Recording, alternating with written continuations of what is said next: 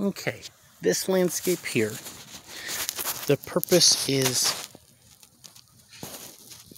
to attract hummingbirds at the same time deal with this mostly shade canopy of this backyard.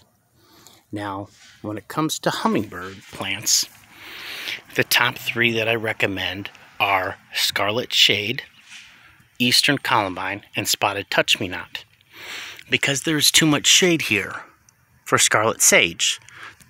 The initial focus is on eastern columbine and spotted touch-me-not. Because this was started in the early summer, right on the bare edge of when the soil temperature changes, spotted touch-me-not seedlings we can transplant in the spring, but not so much in the summer. So because it was on the borderline, what we did is we put a couple spotty touch me this one's still still green. In pots here that way even if it didn't get established over in the landscaping it still would shoot its seeds in here and get on the property. And that was the goal because spot touch me on is an annual. So once you get established because it shoots seeds quite a distance, it's likely to, to, to root in and stay in your property. Spotted touch me not can handle full shade and full water. I remember walking through a swamp collecting them, collecting the seeds one time. But uh, it can handle full sun as long as there's enough moisture. So it's pretty much just an idea of uh, getting it on your property to begin with. So that's what we did there. the same time, planted a couple here. This one's still green. And a few here.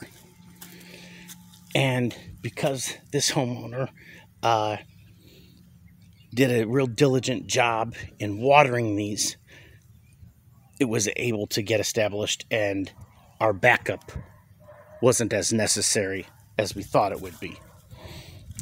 But with this here,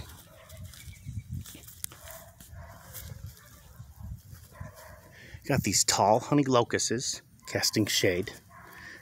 You got eastern red cedar casting a lot of shade. And you see the general look of around here. There's not a lot of sun. But after we got the spotted touch-me-nots planted, even though this might not be the place they'll stay, because we were working on the different grade, if you saw some other pictures, this area was originally rock, and a lot of it, the rock and the dirt was all scraped out, and these retaining wall bricks brought in to have it a raised flower bed.